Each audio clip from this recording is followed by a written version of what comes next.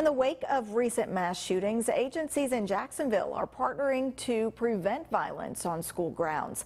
Today was day one of training for school administrators and resource officers to develop threat assessment teams.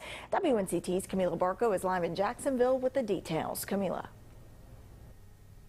Right, Shayla, the, th the threat assessment team is a group of people who will be on the lookout for signs of potential threat or violence at schools. It's a safety approach for the school district and local law enforcement to stay in direct communication.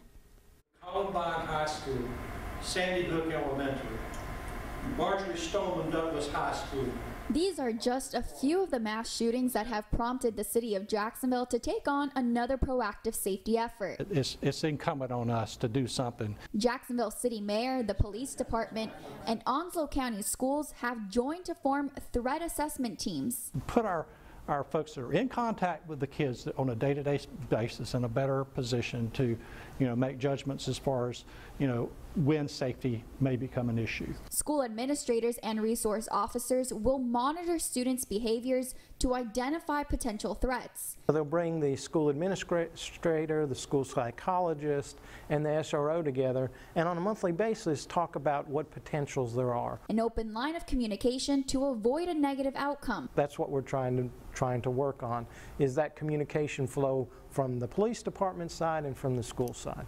Jacksonville Mayor Sammy Phillips says the city and the school district already provide a safe environment for students. I think we're way ahead of the game in, in most aspects of it. There are, there are certain things that probably will need to be fine-tuned. Threat assessment teams are one of many safety measures Onslow County Schools has implemented. This school year, a school resource officer will be assigned to every Onslow County elementary school. It's a process of developing trust between the students and the officer, between the officer and the school staff, between the school staff and the students. Resources aim to prevent violence and help with early intervention.